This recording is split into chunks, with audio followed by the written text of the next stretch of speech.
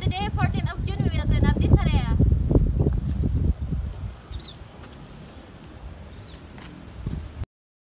Finish the clean up and we got 22 kilograms.